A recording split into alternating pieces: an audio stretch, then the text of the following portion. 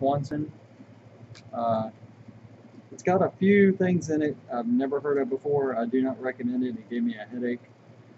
Um, it's the other ingredients that are bad. I've made a supplement I call Focus Intel that I'm selling under uh, Bulsa One on it's B U L S A and then the number one, no spaces on Amazon. I've been taking it for several months. It works really well. Um, it's a cognitive booster throughout your day, and it's uh, priced at $19.95 for a uh, eight tablet sample. And I'm going to be offering special if you buy the eight sample and you want a 30 day supply, I'll give you $10 off the uh, 30 days because I know it works.